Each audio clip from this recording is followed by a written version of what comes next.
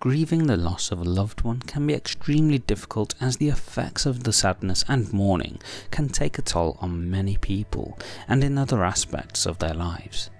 Unfortunately, I've had to watch people deteriorate significantly when grieving after they lost someone close to them, and it's an incredibly sad thing to see, as it can have serious effects on their own well-being. Therefore, in this video we look to help to give you ways to grieve and move on. Number 1. Express yourself. Talking and expressing your feelings is a vital part of grieving, helping you essentially vent out pent up emotions and share your thoughts with others.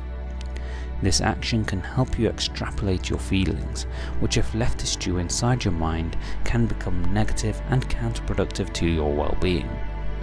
Talk to people close to you, those you love and trust, or alternatively, consider talking to a professional who can help you get productive output from the discussions.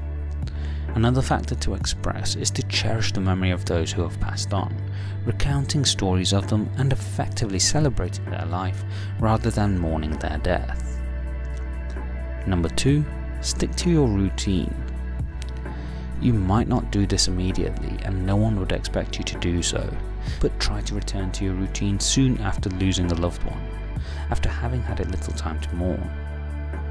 The truth is, our routine is fundamental to our well-being, as humans are creatures of habit and what we do day to day helps to keep us from negative thoughts and outlooks. Try to stick to the basics at first, such as waking up and going to sleep at the same time each day, as we know our sleep is vital to our mental health. Then reintroduce other aspects of your routine back into your day, doing things you enjoy and of course returning back to school or work. Number 3. Sleep. As mentioned in the previous point, sleep is fundamental to our mental and even physical well-being, as when you sleep not only does your body recover, but so does your mind.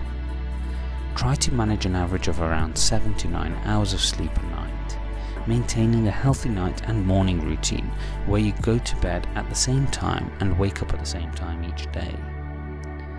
In addition to this, do things that will help your quality of sleep, such as keeping the room as dark and quiet as possible, removing all distractions and disturbances. In addition to this, try to turn off devices at least 30 minutes before bed, as these prevent you from getting a quality night's sleep. Number 4. Eat well. Just as our routines and sleep are vital for our mental and physical health, equally important is to eat properly and eat a healthy diet. This means ensuring that you drink plenty of water to avoid dehydration that can negatively impact your health in numerous ways.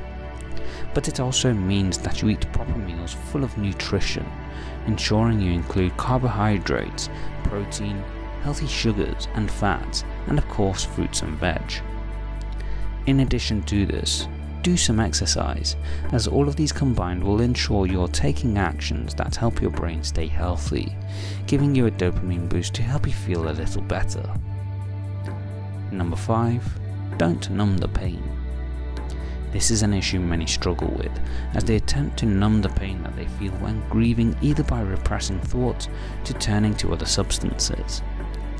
Taking these actions can have serious consequences, as numbing the pain doesn't actually cause it to go away, meaning you don't do anything to actually help deal with it.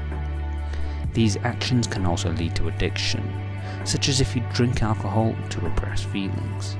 When the alcoholic effects wear off, you're likely to feel them return and potentially be even stronger.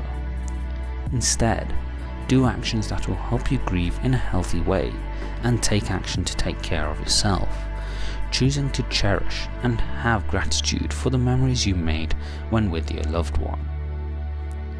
Do you have any other tips to help those grieving? Let me know in the comments section below.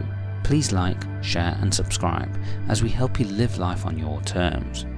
Don't forget to hit the bell icon to ensure YouTube notifies you of the latest uploads. Thanks for watching.